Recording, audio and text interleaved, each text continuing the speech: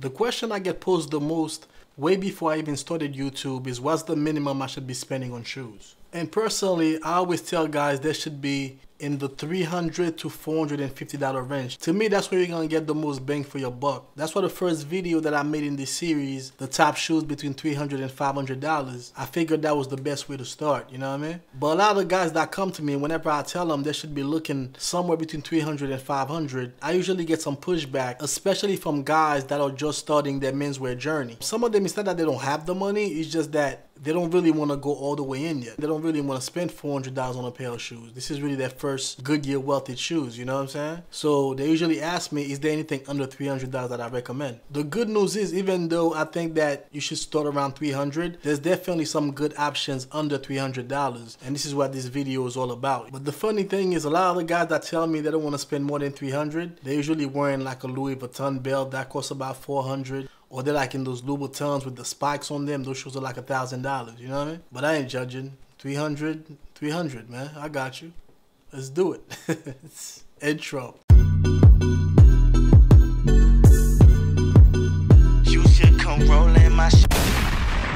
Yo, what up? My name is Vladimir Riché from ChaseandRider.com. In this video, we're gonna talk about the top 10 shoes under $300. It's three different criterias on how I went about picking these brands. Number one are shoes that I own myself, so I'm speaking from personal experience. Number two are shoes that I've recommended to my clients, and they came back to me and tell me that they like the shoes. Number three would be shoes that come highly recommended from sources that I trust. Now, there are some shoes that you're not going to find on this countdown that you're probably expecting. A lot of menswear YouTubers swear by these shoes, but whenever I watch videos of somebody these brands, I'm looking at the shoes and the shoes look really plasticky to me, you know what I mean? So no, you will not find these shoes on this countdown. Every single shoe on this countdown is Goodyear welted. The great thing about Goodyear welted shoes is if the soles wear out and you have to get them switched, most reputable cobblers own a Goodyear machine where they can easily replace the sole. And um, without further ado, let's get to the countdown. Number 10, we're gonna start with Edward and James. Edward and James has four different range of shoes, but the one that we're going to cover is from their contemporary range. Edward and James is the in-house brand for a shoe store out of the UK called Pediwear.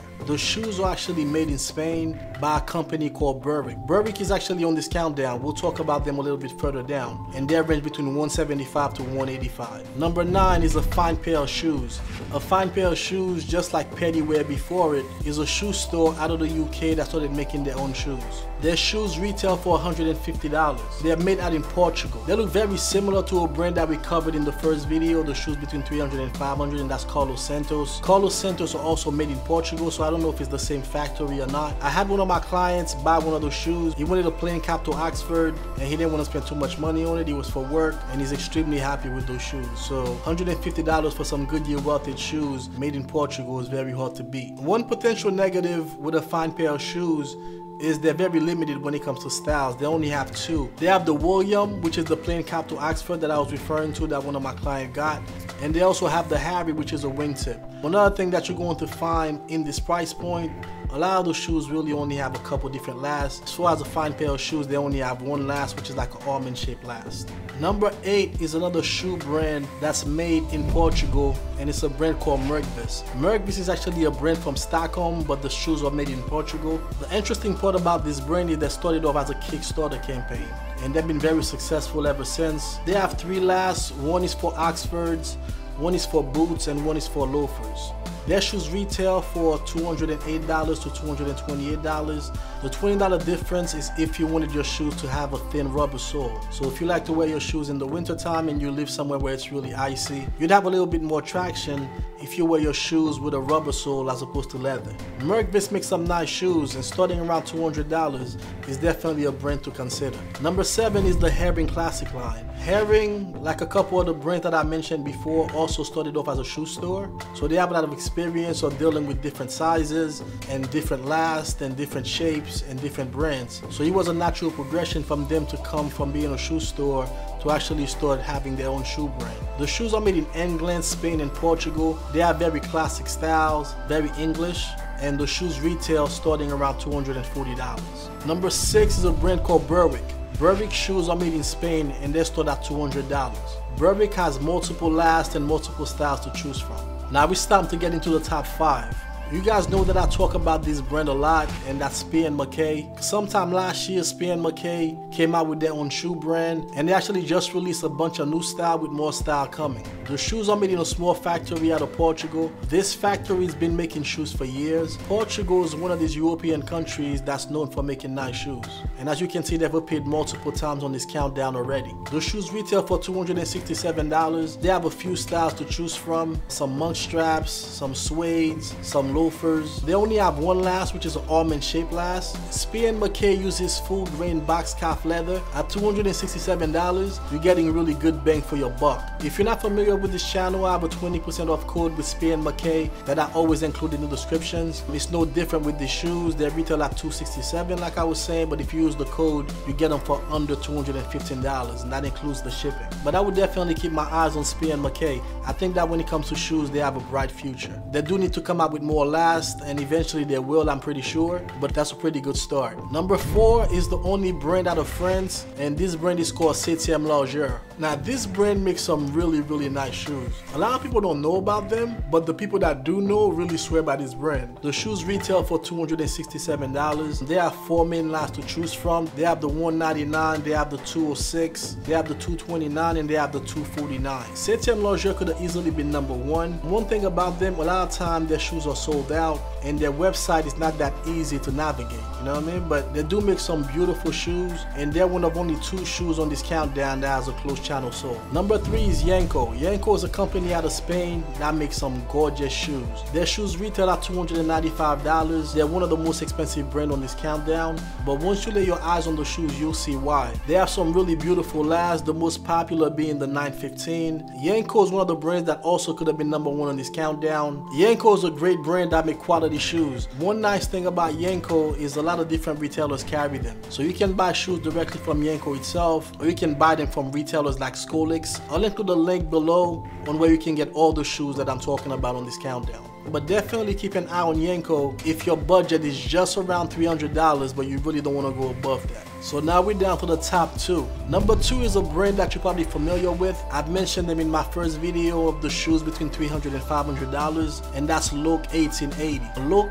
is a company out of England. The 1880 part is when the company started so they've been making shoes for years. The shoes that I spoke about in my previous video was the export grade but this time I'm talking about the 1880 line. The shoes are made in England and they retail from 265 to $280. Their most popular last is the Capital last which is a soft square last. They're not the only brand on the countdown from England, but they're the only brand on the countdown where the shoes are actually manufactured in England. My favorite style from Loake 1880 is the Strand. The Strand is an Adelaide with a medallion uh, on the Capital last. The Capital last is their most popular last, and that's a soft square last. And along with Yanko, Loake 1880 is the most expensive brand on the countdown at around $295. And last but not least, we're down to number one, and that's another company out of Spain called Meermin. Meermin has two different lines. They have the classic line, which retails at $195, and that's the line that we're going to cover. And they also have the master line, which starts around $300. The difference between the two lines is the classic line is Goodyear welted,